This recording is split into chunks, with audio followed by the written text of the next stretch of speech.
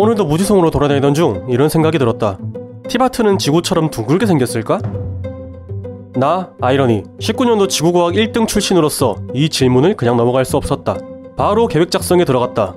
먼저 행성이 둥글다는 것을 증명할 수 있는 방법으로는 동일한 길이의 막대를 다른 지역에 세워 같은 시각의 그림자 길이를 비교하는 방법이 있다.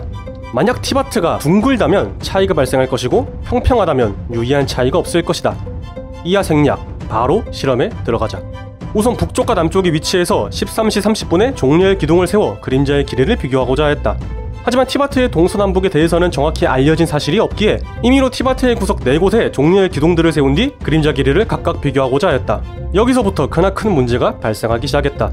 측정 결과를 눈으로만 봤을 뿐인데도 그림자의 길이며 방향까지 전부 다 다른 것 같다. 이는 티바트가 둥글다는 가설과 잘 맞아떨어지지만 예상했던 그림자 길이 차이를 아득히 뛰어넘는다. 이거 조금 더 많은 지역들에 대한 상세한 측정 결과가 필요할 것 같다. 바로 추가 지역들의 측정을 시작해보자. 먼저 편차가 커지지 않게 세부 측정 방법을 정할 필요가 있다. 첫 번째, 평평한 바닥 위에서 측정을 진행한다. 두 번째, 막대기는 종료 입국 기둥으로 통일한다. 세 번째, 13시 30분 ESC를 종료한 시점으로부터 동일한 시간 후에 그림자 길이를 측정한다. 네 번째, 종료는 기둥을 쳐다봐야 하며 카메라는 끝까지 올린 상태로 측정한다. 다섯 번째, 그림자 길이는 노란색 라인의 길이의 몇 배인지로 통일하여 표기한다. 자 이제 측정에 들어가기 앞서 한 가지의 필수 사전 정보가 필요하다.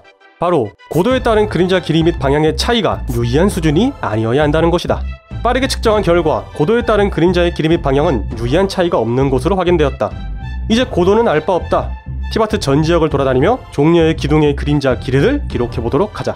첫 번째로 몬드 성 석상 뒤편이다. 13시 30분으로 시간을 조정한 뒤 ESC를 종료하고 정확히 10초 5프레임 뒤에 캡처하여 포토샵을 이용해 각각의 길이를 잰 후 그림자 길이를 노란 라인의 몇 배인지로 나타내었다. 이어서 world map의 단순 위쪽을 0도로 잡은 뒤 그림자 길이의 각도를 구하였다. 이 값을 다음 표를 바탕으로 티마트의 월드맵에 화살표를 표시하였다. 이 과정을 총 18번 반복하였다. 이를 월드맵의 화살표로 표현해주면 이렇게 된다. 잠깐 이상해도 너무나 이상하다. 모든 지역의 그림자 길이와 방향은 같으나 단 하나의 지역 수메르 사막만은 그림자가 이상하게 측정되었다. 혹시라는 마음에 수메르부터 사막까지 태양을 바라보며 걸어가 보았다. 태양의 위치가 실시간으로 바뀐다. 이거 태양과 그림자의 길이가 따로 놀 수도 있겠다는 생각이 든다. 한번 확인해 보자 태양의 고도와 그림자의 길이가 연관이 있는지 보기 위해 삼각함수를 이용할 것이다. 실험 설계는 해당 그림으로 대체한다. 먼저 태양의 고도를 직접 측정해보자. 우선 마우스 설정을 만져준 후 원신에서 아래에서 위까지 시야를 올리는데 움직인 마우스의 거리를 측정하였다. 자로 측정하였고 6.8cm가 나왔다. 이번엔 13시 30분에 아래에서 태양이 머리에 닿는 데까지의 움직임 마우스 거리를 측정하였다. 5.2cm가 나왔다. 즉 마우스 1cm당 26.4706도 즉 태양의 고도는 5.2cm 곱하기 26.4706도 per cm 마이너스 90도 이꼴 47.6471도이다. 이제 종려의 기둥과 그림자의 길이를 측정해보자. 종려의 기둥이 생각보다 크기에 카메라로 측정 시 오차가 커질 수 있으니 바람의 날개를 이용해 측정해보도록 하자. 측정 방법은 지난 영상들과 동일하므로 이하 생략, 즉 종려의 기둥은 5.1034m이다. 그림자의 길이는 깔끔하게 KI 키를 이용해서 구하도록 하자. 이하 생략, 즉 기둥 그림자의 길이는 176.7106cm이다. 이러한 이유로 태양의 고도는 탄젠트 1.76706분의 5.1034 이꼴 탄젠트 2.888 이꼴 약 71도가 된다. 71도, 71도, 71도. 뭐지? 왜 차이가 크지? 혹시나 측정 과정에 문제가 생겼을 수도 있으니 종료 기둥에 매달려 대충 한번 확인해보자. 나는 기둥 뒤에 햇빛이 안 닿는 상태로 완벽하게 숨어 있으나 그림자에는 나의 머리 전체가 다 보인다. 이 말인 즉슨 태양의 위치와 그림자의 위치가 맞지 않다는 말이다.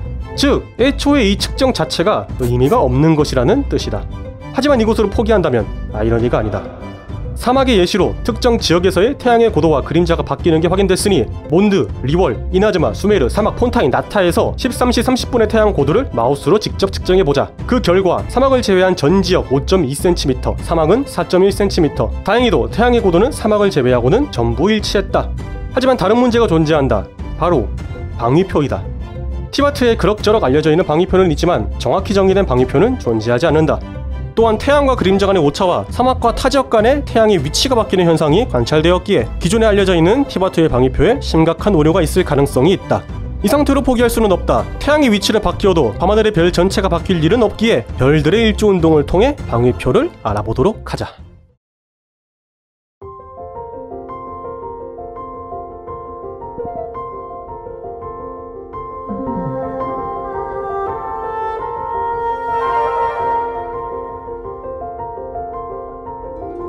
해가 지는 쪽과 북쪽, 남쪽과 해가 뜨는 쪽을 측정한 결과 다음과 같은 결과가 나왔다. 그런데 이 방향 북반구가 아닌 남반구다. 심지어 이나즈마, 리월, 몬드, 수메르 지역은 별들의 일주 운동이 관측되지 않았다. 또한 달의 이동 궤적도 굉장히 비틀려 있음을 알 수 있다. 머리가 너무 복잡하다. 중간 정리를 한번 해보자. 먼저 티바트가 둥근지 확인하기 위해 그림자 길이를 측정했었다. 여기서 지역별로 그림자의 길이가 이상함을 확인하였다. 측정 중 사막 입장 시 태양 고도가 갑자기 낮아지는 현상을 목격하였다. 또한 태양의 고도와 그림자의 길이가 맞지 않음을 목격하였다. 또한 사막 제외 전 지역 태양의 고도가 일치함을 확인하였다. 혹시나 하여 방위표를 잡기 위해 별들의 일주 운동을 관측하였다. 티바트가 남반구임이 확인되었다. 측정 중 몬드, 리월, 미나즈마, 수메르의 밤하늘이 멈춰 있음을 확인하였다. 또한 달의 이동 궤적이 심하게 비틀려 있음을 확인하였다. 또한 태양의 이동 궤적 역시 심하게 비틀려 있음을 확인하였다. 이거 무언가 하나를 측정하고 땡칠 상황이 아니다. 처음부터 다시 싹 잡아야겠다. 방위표부터 다시 해보자.